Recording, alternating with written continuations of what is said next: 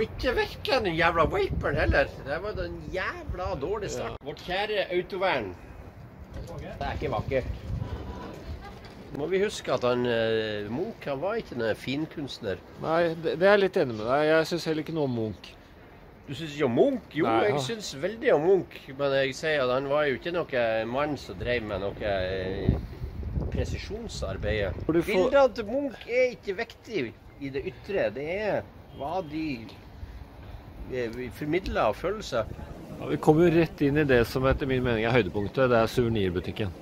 Hva er dette for noe? Er, er dette noe Munch har malt? Fy faen. Ja, det er jo eh, inntrykket av at vi er på ei lufthavn. Det har de jo helt rett i BBC. Så her har vi et maleri av Munch. Er det ikke det? Ja. Det her er som den første kvelden jeg møtte min Tine. Jeg, jeg, jeg må si jeg har ikke noe særlig til overs for Munch. Det er mannskitt. Øya utlyste en eh, Munch-konkurranse hvor de satte opp i gullramma, og så skulle det da være opp til tilskuerne tom ramme, og så skulle de fylle inn og, og gestalte et uh, maleri til Munch. Hvorpå jeg da valgte sjalusi. Ja. Men jeg sleit jo litt med Vi var jo bare to, jeg, meg og min fru. Så det ble jo- Og du er jo Jeg skulle være den som var sjalu, og hun skulle ta bilde, så vi trengte Ja. et par. Så jeg da tar tak i et par som går eh, rett forbi meg, for å ha de inn her i som det lille paret som jeg skulle være sjalu på. ja. Så er det visst at det er Truls Svendsen som eh, kommer forbi. Han gjøken som er på TV. Han Hellstrøm-duden.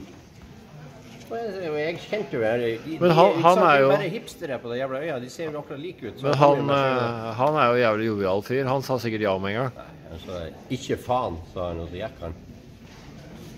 Så mye for Ikke faen. Ikke faen, sa han. Jeg følte historien satt bedre når, når han kom spontant. Når, når vi skulle filme det etterpå, så syns jeg liksom ikke noen av oss var bra, for å si det sånn. Det er jo et kjempeproblem at vi eh, liksom at du skal drive og kritisere Ja, men faen, det var det jeg skulle. Jeg må ha på det. det jævla kameraet hele tiden, for alt, alt det morsomme kommer jo når kameraet er av. Du klarer jo ikke å prate til kameraet i det hele tatt. Gjøk.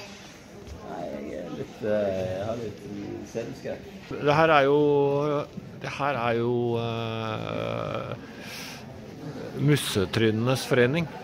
Mussad. Det har sin egen etterretningsorganisasjon. Mussad. Mossad. Det her er Nei, Mussad. De rødmussede. Hører du ikke på Berrum og Beyer?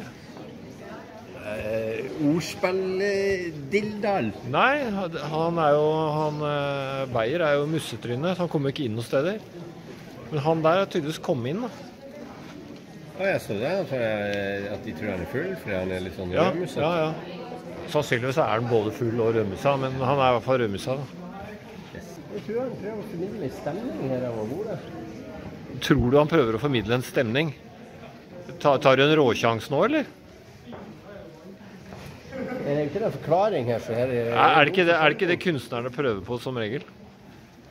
Det er Guidinga her syns jeg rett og slett går i dass. Oslo, Oslo Guide, nå stiller du bare opp foran bildet, og så gjentar du den suverent innsiktsfulle kommentaren du hadde i stad. Kom igjen. Jeg lekte. Jo, jo, kom. Jeg sa bare at her har han jo tenkt et eller annet. sa jeg. Her har han tenkt et eller annet, ja. Det må han ha gjort. Fy fader, for uh, Jeg er glad jeg har med deg, ellers hadde jeg jo ikke skjønt noe av denne kunsten. Ja, det var jævla mye fine damer han omgjekkes. Han hadde en unnskyldning for det konstant å omgi seg med vakre kvinner som gjerne ville være Og så sa han nei, jeg tror du må være naken her for det skal bli et bra bilde. Sa Munch det? Eller gjetter du nå? Du, du bare tenker 'hvordan ville jeg gjort det hvis jeg var Munch'? Hvorfor skriker hun?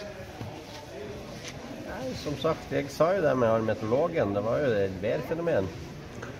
Å ja, så hun skriker pga. dårlig vær? Det er en teori. For en nordlending så er jo det her det optimale, vel. Vi elsker feseire, og vi elsker litt nakne reker. Her har vi fått alt servert i én uh, buffé. Nei, den, her, her, må jeg, her må jeg bare gå inn med metoo-sensur, altså. Dette, dette blir for drøyt. Ok. Nakne ræka.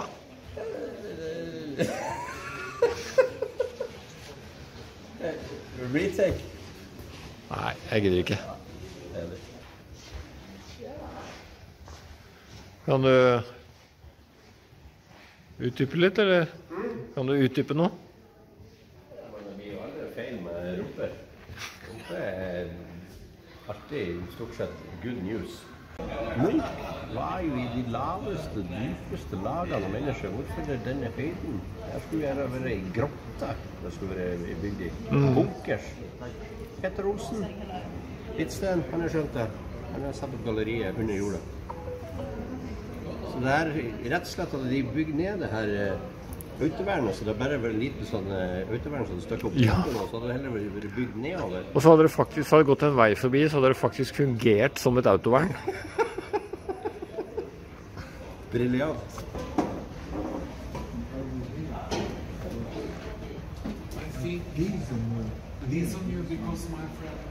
Og der var guidingen slutt.